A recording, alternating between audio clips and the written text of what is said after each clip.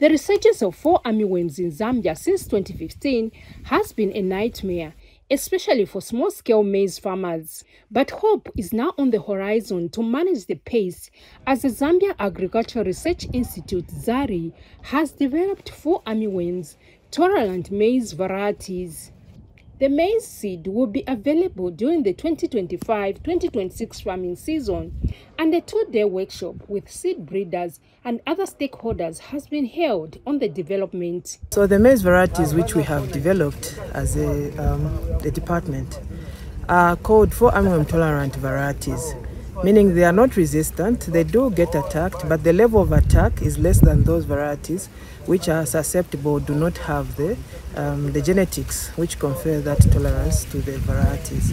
So there are three varieties which Zari has developed.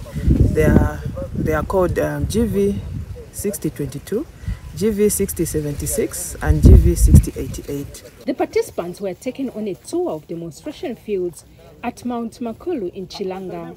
Zari is also evaluating results from the intercropping research aimed at mitigating the impact of pests on the crops. When you, when you spray, uh, you know, um, the 4MM with D10, the, the, the, spore, the fungal spores will germinate on the larvae and it, they, you know, it will suck all, all, all the moisture from the larvae until it is completely hydrated.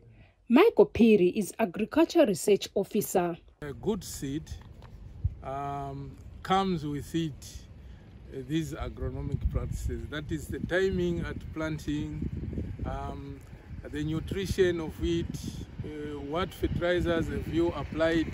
Meanwhile, Kabamba Mwansa was among seed breeders invited for the meeting. I think the pace has come to, to stay. Uh, from what we learned from our colleagues in uh, entomology, that now it's endemic and uh, the damage will continue. Now, as uh, breeders in the national program uh, under the Ministry of Agriculture, I think we've looked at uh, methods of controlling the um, the fall armyworm.